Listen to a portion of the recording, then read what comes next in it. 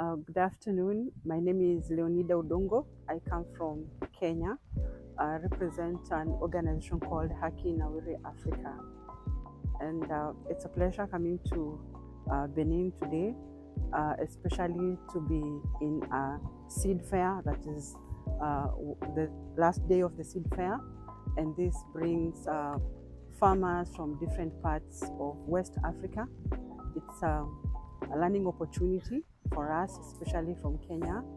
And given that uh, in Kenya we are waging, you can say, a war against GM, especially when we got a lifting of uh, the genetically modified organisms ban. And uh, when we come here, it's an opportunity to learn that uh, different countries are converging in one space to share their seeds, to exchange and learn from each other. Uh, this is something that we don't have in the East African, especially with uh, restrictive uh, legislations as far as seed is concerned.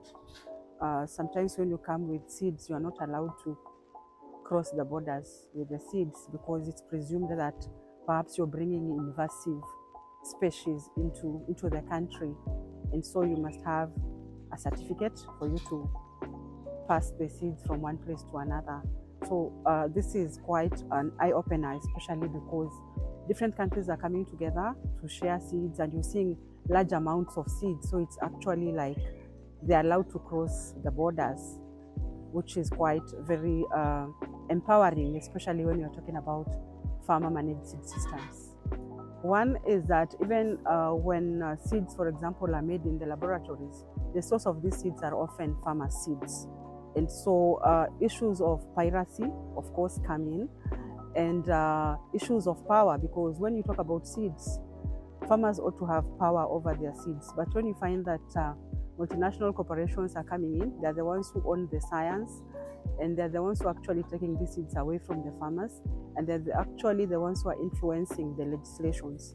If you do, uh, if if you interrogate uh, seed-related legislations across uh, African countries, you'll find that many of them, if not all, have a punitive clause, and these punitive clauses are meant to tie farmers to the agrovets so that they keep on being customers season after season. And then with these uh, punitive clauses, of course, we find that they are very high, a lot of money. And these are farmers who do not even own the land that they till. They've actually leased that land from someone.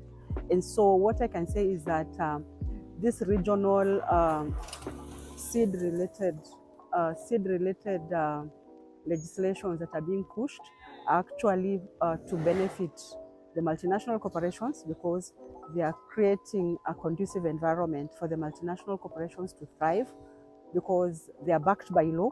So it means that if there, there's restriction, the farmer has to abide by law because they say uh, if you don't follow the law, that is lack of knowledge of a law is not defense.